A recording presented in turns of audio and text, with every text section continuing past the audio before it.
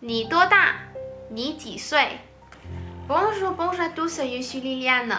大家好，我是 Liliane. Aujourd'hui, je vais vous apprendre comment demander l'âge en chinois. Il y a deux phrases. 你多大？Tu as quel âge? Ni, c'est tu. Do, c'est combien? Ta, c'est grand. Donc, c'est-à-dire tu as quel âge? Ni ta. Par exemple, j'ai 15 ans. 我十五岁，岁 c'est-à-dire on。我十五，十五 c'est-à-dire quinze。我十五岁 c'est-à-dire j'ai quinze ans。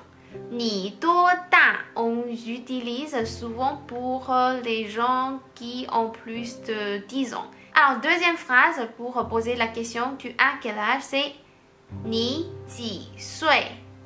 ni ji sui. Ni, c'est-à-dire tu.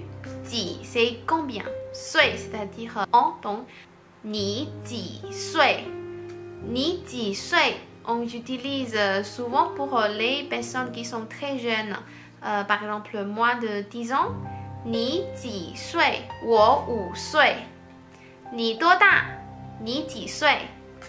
Et pour répondre à la question, c'est simple. On utilise le sujet et puis le chiffre et puis sui. Voilà, c'est simple. Par exemple, j'ai 30 ans.